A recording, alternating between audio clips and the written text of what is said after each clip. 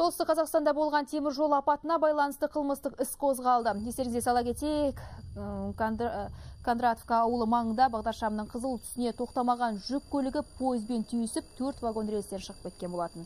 Артынан маз көлігі жолаушылар пойызы соғып 400 метр жерге дейін сүйреп әкетеді. Қатты соққыдан рөлде отырған Татарстан азаматы тіл тартпай кетті. Болжам бойынша жүргізуші ұйықтап кетуі мүмкін. Оқиға орнын тексерген полицейлер жүк көлігінің мүлде тоқтамағанын айтып отыр. Тежегіштің жұмыс істемеуі сараптама қорытындысы бойынша белгілі болмақ.